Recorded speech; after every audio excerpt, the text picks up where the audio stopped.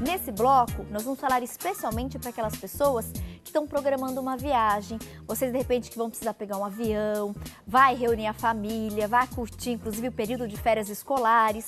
E a gente vai dar dicas para você fazer dessa viagem, de fato, um momento gostoso, tranquilo tentar prevenir né, alguns probleminhas, algumas dores de cabeça e de uma maneira muito simples você consegue de fato aproveitar bem as férias, aproveitar bem o verão sem estresse. Hoje a gente recebe aqui a Carol Figueiredo. Ela é consultora de moda, de estilo. Ela também aí tem um contato muito legal com essa questão da viagem, né? Carol, seja muito bem-vinda ao programa. Prazer tê-la aqui conosco. Prazer é meu, Tati. Obrigada.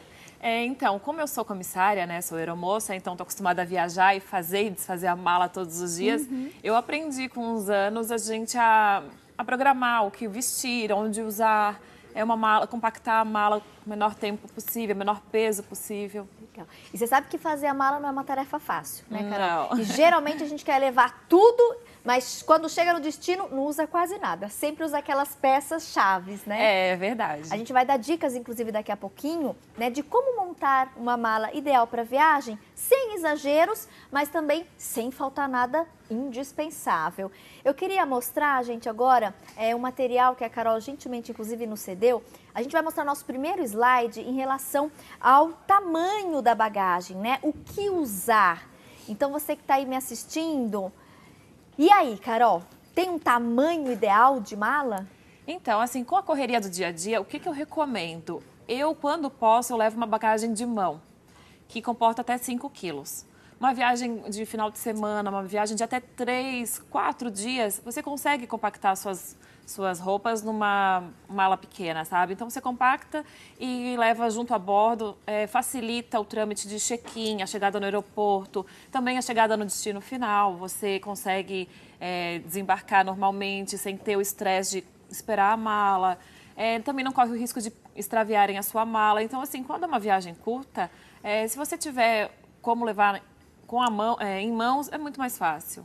Perfeito. Tem alguma orientação, é, Carol, até por você ser né, a comissária de bordo, é, que hora chegar no aeroporto, dependendo do horário do voo, qual a orientação específica? E tem, de repente, durante o dia, o melhor horário, que o aeroporto é mais tranquilo? Será que hoje tem isso ou não? Não, Tati. Hoje em dia eu falo assim, gente, que dia é hoje da semana? Porque o aeroporto está sempre cheio.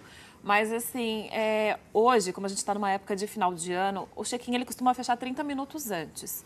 Mas você, é melhor a gente chegar agora, nessa época, uma hora e meia antes, sabe, uma hora e dez, porque você chega com calma, você faz, vai entrar na fila, vai fazer o seu check-in, vai despachar a sua bagagem, vai comer alguma coisa, porque os voos hoje em dia eles já não servem uma refeição completa.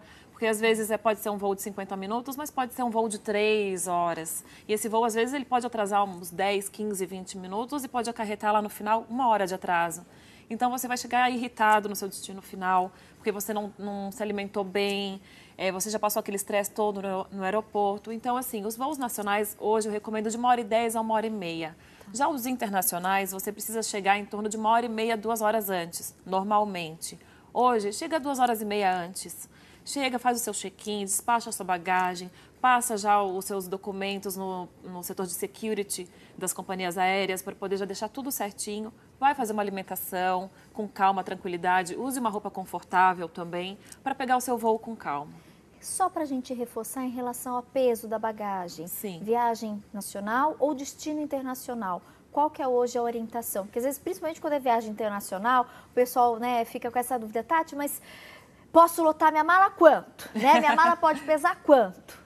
Então, assim, os voos nacionais, cada empresa tem uma determinação. Tá. Mas, no geral, são em torno de 20 quilos a mala despachada e 5 quilos a bagagem de mão. Certo. Nos voos internacionais, de acordo com os cartões de fidelidade do cliente, eles, eles dão alguns bônus.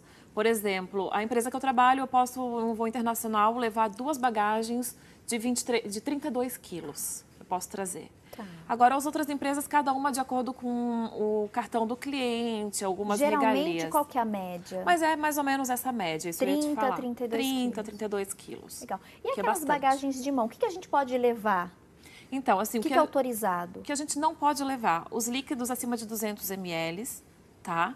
É, spray também acima de, 200, de 150 ml também você não consegue passar. Materiais pontiagudos. É, eu já vi uma passageira reclamar porque ela estava com um palito de fazer um coque no cabelo e o palito era de ouro. Só que era um material pontiagudo e ela teve que despachar, ela teve maior estresse no, no raio-x, foi em Belo Horizonte. Então, assim, evite usar esse material, sabe? Quando for fazer o, o passar no raio-x, se você tem algum, algum material que vai apitar, algum metal, algum acessório, já tire na fila para agilizar o seu processo, para. Às vezes tem alguém atrasado na fila, está é, nervoso, pode te xingar. Então, evite essas coisas, sabe? Tente ir a forma mais tranquila possível, mais simples possível e, te, e deixe para se arrumar, usar os seus looks no destino. Perfeito. Carol, tem alguma orientação em relação ainda a essa bagagem de mão? Por exemplo, quantidade, tamanho. Então, geralmente a pessoa está carregando uma bolsa, às vezes leva mais uma sacola ou uma mala pequena para a gente colocar naquele compartimento interno mesmo do avião, que geralmente fica em cima das poltronas. Sim. Nesse sentido, tem é, orientação em relação a peso, quantidade? Então, o peso é até 5 quilos. Até 5 quilos. Isso, dessa bagagem. Você pode levar sua bolsa de mão e uma bagagem de mão de até 5 quilos. Okay desde que ela entre nesses compartimentos.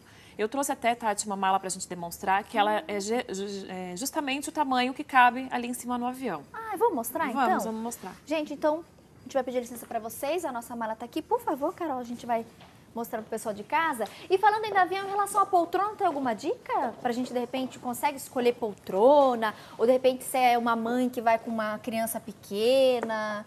Então, assim, depende muito do perfil da viagem. Se for uma viagem curta, você quer descansar, é, você não tem o costume de levantar, procure sentar na janela, porque aí você não atrapalha algum, algum passageiro que esteja ao seu lado, que queira levantar e ir ao toalete, ou que precise se locomover por algum motivo, por ter até uma criança junto. Agora, se for um voo mais longo, é, procure, e você precisa caminhar por algum motivo de. Até a circulação, é bom a gente caminhar num voo de 12, 13 horas. Se você tem esse, não consegue descansar, não consegue dormir, procure sentar já no corredor para não atrapalhar quem quer descansar também, né? Então, assim, o interessante é você ter foco no, no seu destino final. É uma ponte aérea, são 30 minutos de voo, não tem necessidade de, de levantar e...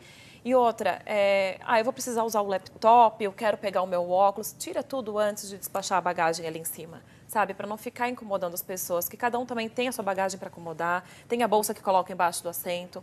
Então é melhor a gente evitar evitar o incômodo. Falando em companheiro de viagem, você sabe que jornalista apresentadora fala demais, né, Carol? Ai, gente, dentro me conter, mas não tem jeito. E aí, de repente, no voo, conversar ou não com o nosso colega? Então, Regrinhas assim, de etiqueta. Puxa é... um assunto ou ficar quietinho ali na miúda? Acontece muito comigo, porque às vezes eu tô assim com uma roupa paisana, mas eu tô com um crachá da empresa. E aí o passageiro ao lado, ele vê o crachá e fala, nossa, é aeromoça, e quer fazer todas as perguntas, né? E às vezes a gente está cansada, assim, vo, assim, voei a noite toda, preciso descansar. É, observe o perfil do passageiro que está ao seu lado. Se ele está lendo um jornal, se ele está lendo, está numa leitura, está concentrado, ou está no computador trabalhando, você não vai ficar puxando conversa, né? Tente, se você é uma pessoa que precisa de se distrair porque tem medo de voar ou porque está impaciente, pega um fone de ouvido, coloca, leva alguma coisa para ler, sabe? Tente se distrair para não causar também constrangimento, porque a pessoa ao lado também pode lhe dar uma má resposta e pode ficar um clima chato. Tá aí.